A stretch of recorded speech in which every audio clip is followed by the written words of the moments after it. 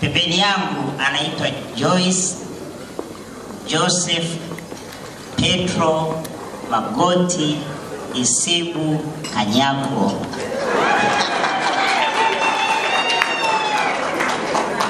Ni rafiki yangu sana, ni mke wangu, ni mpenzi wangu, mshauri wangu, ni mlezi wangu.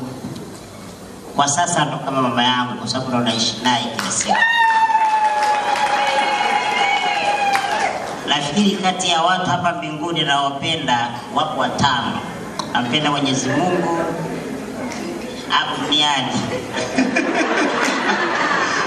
napenda Mwenyezi Mungu, napenda mke wangu, mama zangu, napenda rais wangu na napenda rafiki yangu, lakini Joyce niseme ni kila kitu kwangu.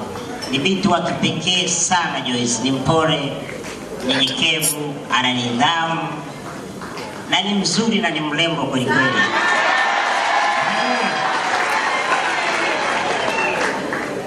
Ya, Joyce sijui nimwelezeje, niseme ni mtu ambaye ni faraja ya moyo wangu, ni kipozeo changu napokuwa nimetoka kazini.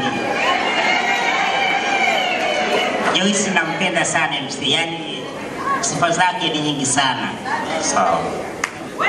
na ninapokuwa naye, yani leo baada ya ndoa nilitamani nimtongoze tena.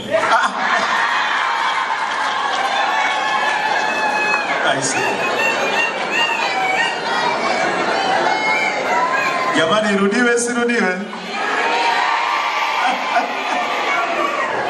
Kuna mtu ambaye unakaa unatamani mwangalie usoni mara mbili mbili, na hata mimi nina simu mbili, simu zangu zote nimemweka na Joyce na Mheshimiwa Rais. Kwa hiyo kila baada ya nusu saa ile display ina play Joyce, Joyce, Samia, Samia. Na ninaahidi mbele yangu, mbele ya wazazi wangu, ndugu zangu, nasema kwamba kwenye ndoa kuna mambo mengi, lakini Joyce atakuwa ni binti wa pekee hapa duniani kuishi maisha ya raha kwa binti yote. Haya basi, wasimamizi mje mumsaidie kakae. Sasa wasimamizi, naomba mkalize. MC, nitaomba utulivu kidogo, kwa sababu Naam, mimi nimelelewa na watu wengi sana, naam, na hapa watu wengi wamesafiri kwa ajili yetu. naam. Nataka kila mtu nimpe anachostahili. Wakati huo watu waendelee kupiga vyombo mpaka asubuhi. Basi sawa.